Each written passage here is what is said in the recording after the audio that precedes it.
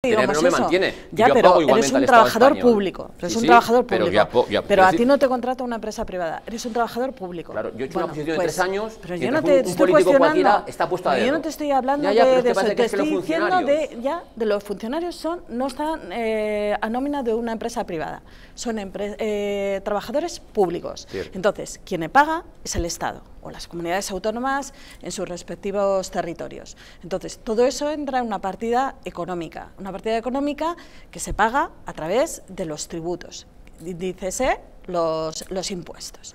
Entonces, estamos en una situación delicada en la cual efectivamente todo el mundo necesita ayuda, salimos de una pandemia con una situación económica excepcionalmente muy difícil y por eso los números que has dado ahora que claro que se recauda más porque se empieza el año pasado se empezó a recaudar más hay mayor actividad mayor movimiento en comparación de los anteriores pues evidente que los números están un poco hacia arriba.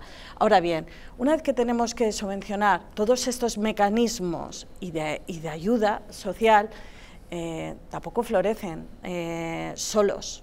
Es decir son los ciudadanos los que pagan. Y evidente ahora mismo, eh, y también y de forma ideológica, bajar los impuestos no sería tampoco la cuestión, porque nos quedaríamos prácticamente luego sin ningún tipo de, de ingeniería y de poder realizar todos estos proyectos. Ahora bien, Claro que hay una bajada impositiva y la hay, esa bajada impositiva, y se hace a través de los hidrocarburos. El máximo impositivo, y esto es a través de una directiva europea, está en 37,9 por eh, céntimos el hidrocarburo. Es lo que se puede